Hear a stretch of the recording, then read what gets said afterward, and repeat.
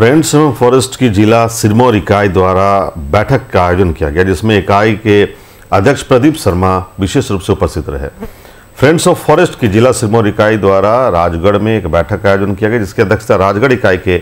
नवनिर्वाचित अध्यक्ष रतन कश्यप द्वारा की गई। जिला अध्यक्ष प्रदीप शर्मा विशेष रूप से उपस्थित रहे और यह जानकारी देते हुए राजगढ़ इकाई के अध्यक्ष रतन कश्यप ने बताया कि इस जिला स्तरीय बैठक में जिला कार्यकारिणी व राजगढ़ इकाई के सभी पदाधिकारी सदस्यों ने भाग लिया है।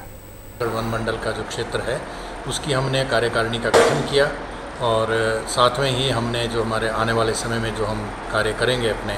उन कार्यक्रमों की रूपरेखा को हमने अंतिम रूप दिया। ये जो फ्रेंड्स ऑफ़ फॉरेस्ट हमारा एक संस्था है इस संस्था का मुख्य उद्देश्य वन विभाग से जो सेवानिवृत्त हुए अधिकारी हैं, उन अधिकारियों का एक समूह है।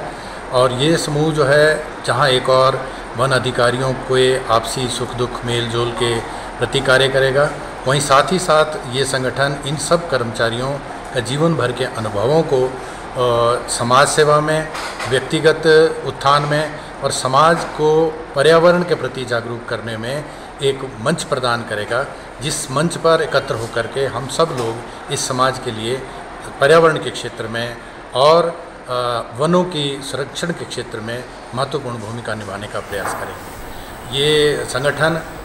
वन कर्मचारियों को सेवानिवृत्ति के बाद एक मनोबल प्रदान करेगा कि उन्होंने जीवन में जो भी अनुभव लिए हैं, उस अनुभव को वो समाज की बेहतरी के लिए अब इस्तेमाल करेंगे।